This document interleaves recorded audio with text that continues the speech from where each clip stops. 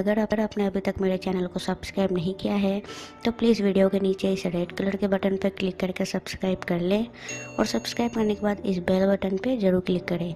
Sir event 24 में आपका स्वागत है। आज हमारे साथ गुलेर पंचायत से सागर। सर आपके मन में समाज सेवा की बात कहाँ से आई? देखिए मैं कुछ समय पहले ही अपनी पढ़ाई पूरी करके जब यहाँ पे आया तो मैंने देखा कि यहाँ की जो परिस्थितियाँ हैं, जो हमारे देहरा के क्षेत्र की, हमारे आस आसपास के गाँव की जो परिस्थितियाँ हैं, जो चीज़ें मैं बाहर से देख के आया था उसके कंपैरिजन में अगर वो देखे तो वो बेहतर नहीं थी।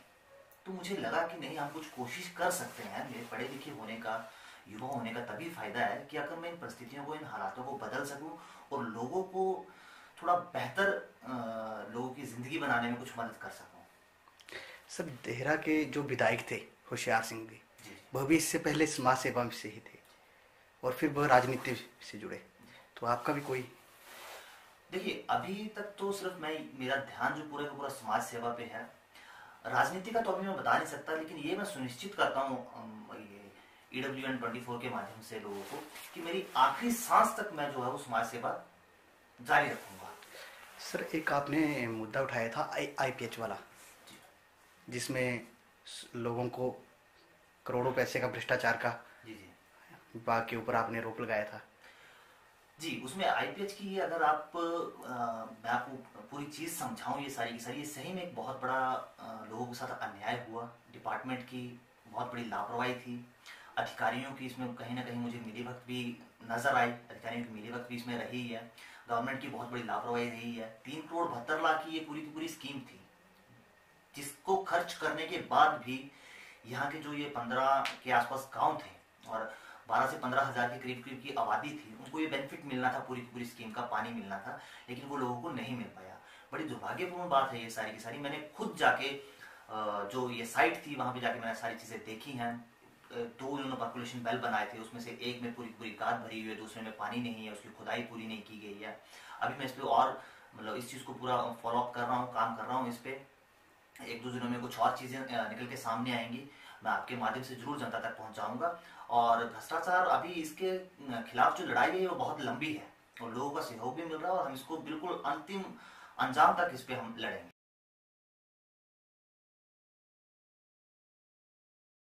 ईडब्ल्यू एन ट्वेंटी फोर के माध्यम से बताना चाहता हूँ कि हम एक दिन ऐसा लाएँगे देहरा में कि यहाँ से भ्रष्टाचार की जड़ें बिल्कुल खत्म कर देंगे, काट के रख देंगे। सर जैसे सड़कें बनती हैं आपने सड़कों को देखा है। वो कुछ ही मतलब बनने के कुछ ही टाइम के बाद वो टूट जाती है। उसका रिकॉर्ड मांगा था एक बार गवर्नमेंट से एक ऑनलाइन फिलिंग होती है मतलब कंप्लेंट फिलिंग होती है सीएम को कंप्लेंट की थी। हम्म। तो उसमें सलाह आया था कि ये लोगों ने जो है अपने घर की नालियाँ हम्म। वो जो पानी है वो सीधा सड़क में किया है। उसके कारण जो है ये सड़क टूटी है। हम्म। तो वो जो जो बना रहा है सड़क जो ठेकेदार है ये तो उसको चाहिए कि थोड़ी सी जो स्लांट उसको दिया जाए या साथ में सड़क के किनारे जो है नालियाँ बनाई जाए। जी, मैं मैं समझ गया आप क्या क्या बताना रहे देखिए, इसी को सिस्टम फेलियर बोलते हैं। यही सिस्टम फेलियर है। यही मैं बता रहा हूँ आपको कि सरकारें व्यवस्थाएँ सही तरीके से काम नहीं कर रही हैं। अगर आपको ऐसा जवाब आया है तो ये सही में बहुत दुर्भाग्यपूर्ण है। अगर लोगों ने पानी जो सड़क की तरफ़ छोड़ा है, सबसे पहले विभाग को सुनिश्चित करना चाहिए कि वहाँ पर नालियाँ होनी चाहिए। अगर वो नालियाँ हो तो सड़क को डैमेज नहीं हुआ। ये, इसी इसी, यही सारी चीज़ें जो हैं वो लिपापोती विभाग करता आया है अभी तक। ये जितने भी अधिकारी हैं, विभाग हैं, ये सारे का सारा इनका यही काम रहा है कि बिल्कुल घटिया से घटिया स्तर का काम करें। घटिया से घटिया स्तर का काम करने के बाद उस पर लिपा पोती कैसे करें? इसी का एक उदाहरण मैं आपको दूँ कि जो आईपीएच की स्कीम हुई थी, जब मैंने अधिकारियों से पूछा था कि आप मुझे बताएँ कि आप, ये जो अपने पर्कुलेशन बेल जो है बीच नदी में बना दिया, जो कि पूरे का पूरा छह महीने के लिए पानी से ढका रहता है चारों तरफ़ से तो आप इसको अगर मोटर ये खराब हो जाती है तो आप इसको कैसे ठीक करेंगे। इसको, जब ये बरसात का पानी रहेगा तो उन्होंने बताया कि हम इस पर पुल बनाएँगे ज़मीन से। तो ये क्या है कि उनका, एक नेग्लिजेंसी का रवैया है है ना? ऊपर से इन लोगों को मतलब एक लेवल ऑफ़ एरोगेंसी भी है ये अधिकारियों में, कि उनको डर नहीं है किसी चीज़ का। किसी किन लोगों को डर नहीं रहा। डर किस चीज़ का रहेगा? डर अधिकारियों को होगा सरकार का। लेकिन कहीं ना कहीं ऐसा लगता है कि इस व्यवस्था में अधिकारी और सरकार का आपस में तालमेल बहुत अच्छा बन गया है, जिसका खामियाजा जो है वो जनता को भुगतना पड़ रहा है। अब कहीं ना कहीं जनता को ही उठ के आगे आना पड़ेगा और इन चीज़ों का विरोध करना शुरू करना पड़ेगा। सर, जैसे आपने देखा है, आजकल जो स्कूल के बच्चे हैं, जैसे सुप्रीम कोर्ट ने कुछ रूलिंग निकाली थी, कुछ लाज हैं कि जो 18 ईयर्स से पीछे बच्चे हैं, उनको जो है वो नशीली पदार्थ नहीं दी जा सकते, जैसे सिगरेट बीड़ी। पर हमने जैसे अभी तक देखा है कि जो जितने भी ग्रेजुएटिंग कोर्सेज है, जितने भी यूनिवर्सिटीज में सेंट्रल गवर्नमेंट ने एक रूल निकाला था कि उसमें ड्रग अब्यूज का एक सब्जेक्ट लगाया जाए जी जी तो वो जब तक बच्चा ग्रेजुएट कर रहा है, वो जब तक किसी मतलब ग्रेजुएशन लेवल में पहुँच गया, तब तक तो वो ड्रग एडिक्ट बन चुका होता है, या वो ड्रग से मतलब उसको ड्रग की आदत पड़ चुकी होती है। तो वो उसको हटा के, वो क्यों नहीं उसको टेंथ इलेवंथ में किया जाए? और आपने मतलब सरेआम देखा है कि ये जो दुकानदार है, ये अभी भी जो है वो नशीली पदार्थ बच्चों को दे देते हैं विदाउट कोई एज की वेरिफिकेशन किए हुए, या विदाउट कुछ जाने हुए। जी, आप बिल्कुल ठीक बोल रहे हैं। देखिए, दो चीज़ें हैं। मैं मैं इस बात पे बड़ा मतलब ज़ोर से इस, इस बात पे दबाव देता हूँ हमेशा के लिए कि अगर हम राम राज्य की उम्मीद करते हैं तो ये आप निश्चित मान लें कि राम राज्य जो है वो कानून बनाने से नहीं आएगा। राम राज्य तब तक नहीं आएगा जब तक कानून में जनता की भागीदारी नहीं रहेगी। अगर कोई दुकानदार हमारे आस पड़ोस नाबालिग बच्चों को नशा दे रहा है तो हमें भी अपने स्तर पे ग्रामीणों को हम लोगों को हम लोग सोसाइटी क्या समाज क्या हम लोगों से बनता है। हम लोगों को उसका विरोध करना चाहिए उस दुकानदार को बोलना चाहिए कि भाई साहब ऐसा ना करें। अगर आप ऐसा करते हैं, वापिस आप ऐसा करेंगे तो हम इसकी कंप्लेंट करेंगे। एक तो ये समाधान है इस चीज़ का। दूसरा, कानून तो बनाई हुआ है, लेकिन कानून ज़्यादा रिज़ल्ट आपको तब देगा जब समाज की लोगों की भागीदारी उसमें रहेगी। छोटा सा उदाहरण मैं आपको दे दूँ, क्या मर्डर के लिए कानून नहीं बना हुआ? फांसी की सजा सुप्रीम पनिशमेंट है मर्डर के लिए, लेकिन फिर भी मर्डर हो रहे हैं। तो सिर्फ़ कानून बनाने से समस्या का समाधान हो जाए, इस बात मतलब ये ऐसा संभव नहीं है, इस व्यवस्था में। तो लोगों को भी अपनी भागीदारी दिखानी चाहिए मेरे ख्याल से। और दूसरा जो आप बात कर रहे हैं कि जो ड्रग अब्यूज का जो सब्जेक्ट है, ये बिल्कुल सही है, ये सब्जेक्ट आपका कहीं ना कहीं एट्थ और टेंथ के बीच में कहीं ना कहीं ये होना चाहिए। यहाँ से बच्चों को एट्थ और ट्वेल्थ के बीच में बच्चों को पढ़ाना शुरू करना चाहिए। मैं खुद वैसे उस दौर से हम लोग निकले हैं, हम सबको पता है कि कहाँ से बच्चा अपना स्मोकिंग शुरू करता है, कहाँ से बच्चा जो है वो ड्रग्स लेना शुरू करता है। तो इन सब चीज़ों पे तो ये सब चीज़ें हमने अपने आप में देखी हैं।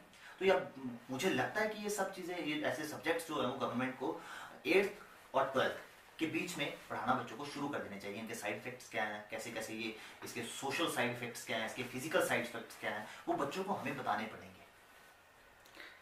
सर एक क्वेश्चन है जैसे आजकल सड़कों पे दुर्घटनाएँ ज़्यादा हो रही हैं। तो प्रशासन की तरफ़ से तो उसके ऊपर कोई कार्रवाई भी नहीं हो रही तो उस बारे में आप? देखिए ये एक बार फिर आप बिल्कुल मैं वही बता रहा हूँ यही टोटल सिस्टम फेलियर है। है ना, मेरा, मैं आपको बताऊँ कि मेरी बेसिक लड़ाई जो है वो सिस्टम फेलियर के ऊपर ही है। ये बिल्कुल जो दुर्घटनाएँ हो रही हैं, दो तीन चीज़ें हैं तो सड़कों पे बहुत ज़्यादा लोड आ गया है ना रोड पे धीरे धीरे लोड बढ़ रहा है सड़कों की कंडीशन ठीक नहीं है, जो हमारे रोड्स हैं, उनकी कंडीशंस ठीक नहीं है गवर्नमेंट मेंटेन नहीं कर पा रही है अगर कहीं कोई खड्डा पड़ खड्डा पड़ जाता है तो सालों लग जाते हैं उसको भरने के लिए, सालों लग जाते हैं उसको भरने के लिए। तो ये फिर गवर्नमेंट का काम है कि उन चीज़ों को ठीक करे।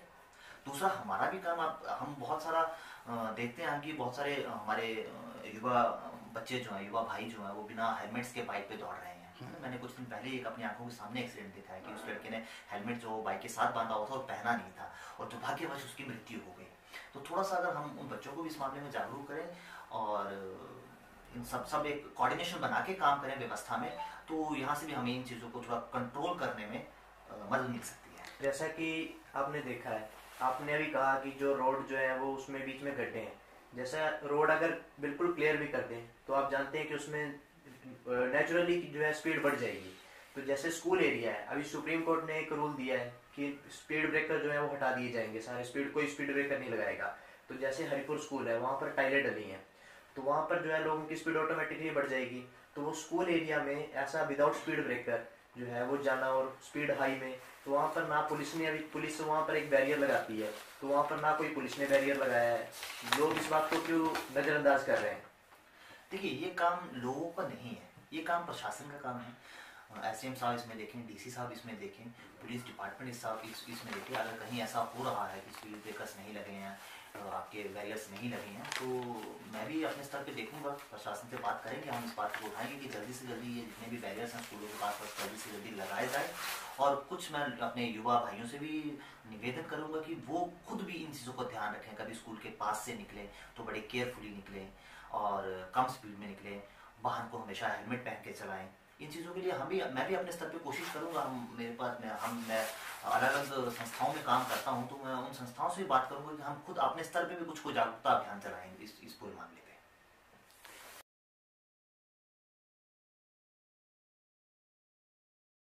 सर एक सेंट्रल यूनिवर्सिटी का मुद्दा है देहरा के लिए। जी। उस बारे में आप कुछ? इस सबसे दुखद जो हमारे देहा के लिए इस वक्त है वो सेंट्रल यूनिवर्सिटी का और इसकी पीड़ा जितनी मैं महसूस कर सकता हूँ शायद ही कोई कर सके। मैं आपको बताऊँ कि अगर ये सेंट्रल यूनिवर्सिटी देहरा में समय रहते बन गई होती तो मुझे पीएचडी करने के लिए कहीं और नहीं जाना पड़ता। मुझे मेरी अपनी जो हायर एजुकेशन है, उसको पूरा करने के लिए कहीं और नहीं जाना पड़ता। मैं भी घर की, घर का खाना खा के, अपने माँ के हाथ का खाना खा के बड़े अच्छे से पढ़ाई कर सकता था। सेंट्रल यूनिवर्सिटी टोटल पूरी का पूरा एक राजनीति में उलझ गई, बीजेपी और कांग्रेस की। और ये बीजेपी कांग्रेस की राजनीति में नहीं उलझ, बीजेपी कांग्रेस की राजनीति तो इसमें है ही है, लेकिन साथ में कांग्रेस कांग्रेस की राजनीति और बीजेपी बीजेपी की राजनीति में ये चीज़ ज़्यादा उलझ गई है। अभी भी जो परिस्थितियाँ जो हम देख रहे हैं, अभी भी जो दिखने में आ रहा है, उसमें कुछ ऐसा लग रहा है कि कहीं बीजेपी गवर्नमेंट ही नहीं चाह रही है शायद, कहीं से ये बातें भी निकल के आ रही है शायद बीजेपी गवर्नमेंट ही नहीं चाह रही है कि अभी सेंट्रल यूनिवर्सिटी का शिलान्यास हो।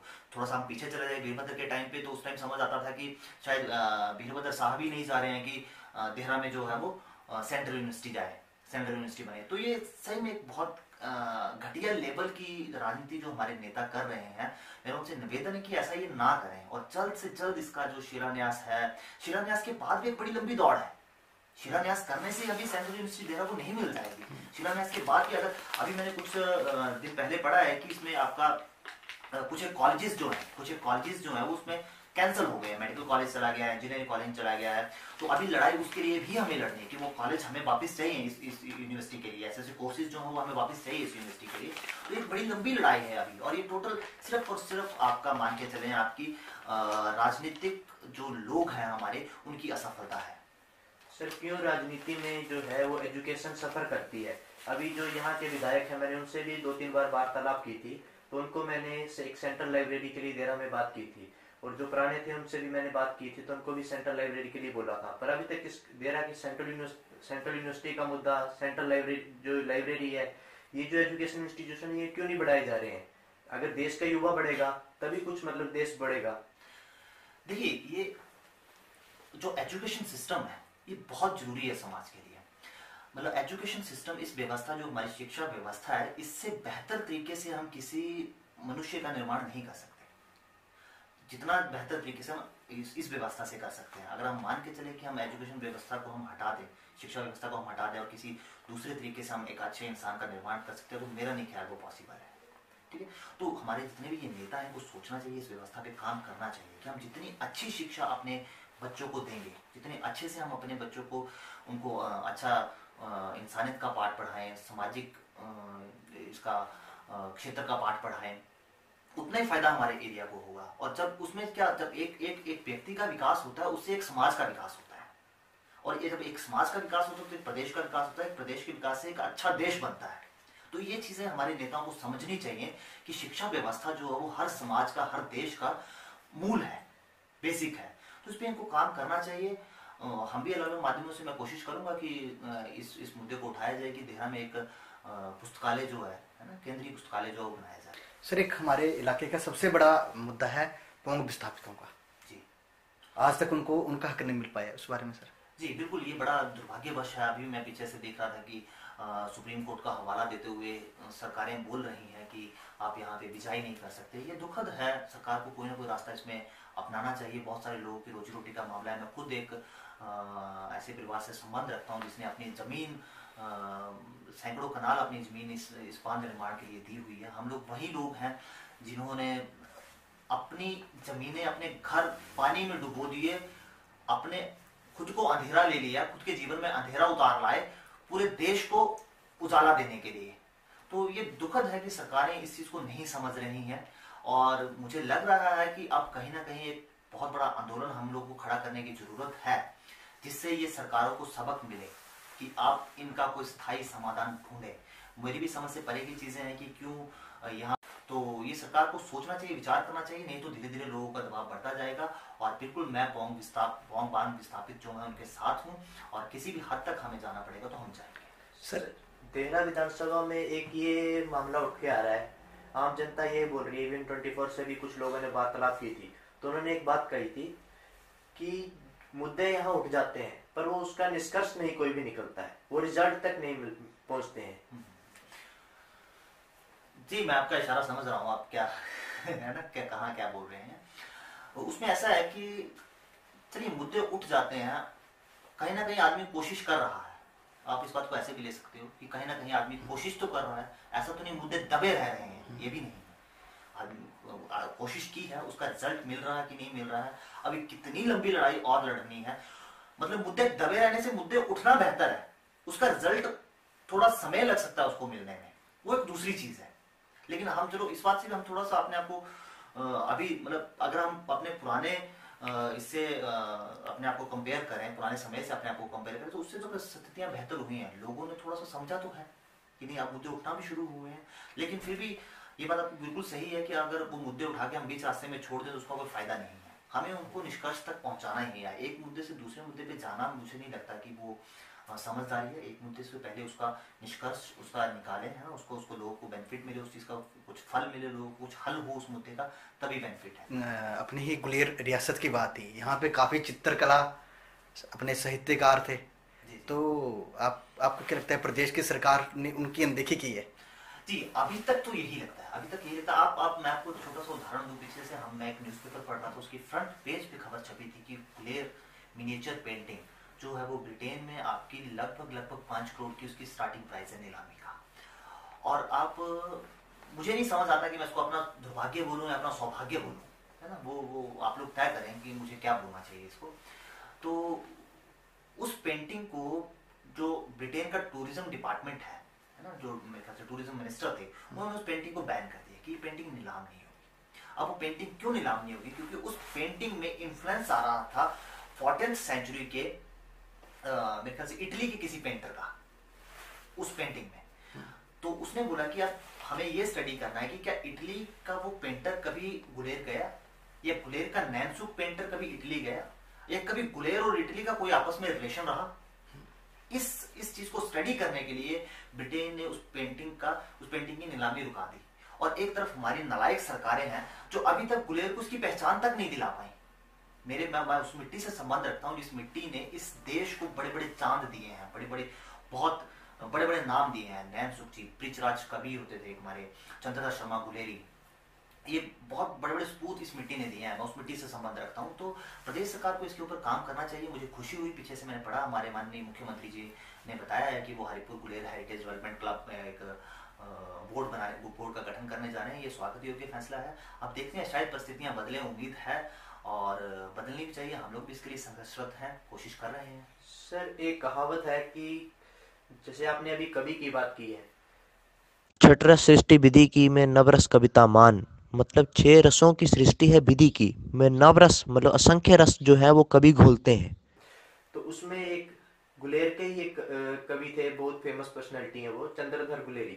उनका यहाँ पर कोई मार्ग मतलब स्मृति चिन्ह नहीं है, कोई मतलब कोई उनकी मेमोरेबल थिंग नहीं है यहाँ पर। जी, ये बड़ा बड़ा दुर्भाग्य, दुर्भाग्यपूर्ण है कि जिस मिट्टी ने इस देश को इतना बड़ा ला दिया चंद्रशा शर्मा गुलेरी।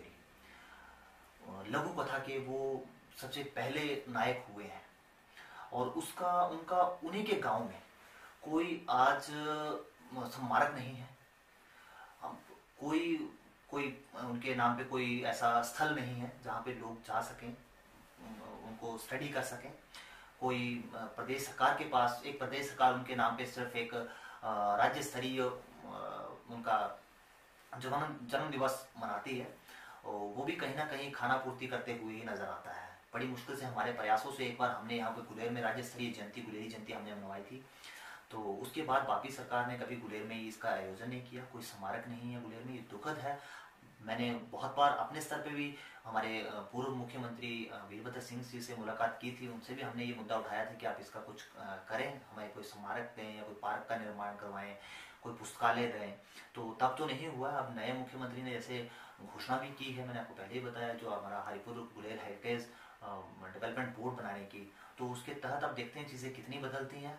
माननीय मुख्यमंत्री से भी मैं निवेदन करता हूँ कि गुलेर में जल्द कोई ऐसा स्मारक चंद्रशा शर्मा गुलेरी जी का नैन जी का ब्रिजराज जी का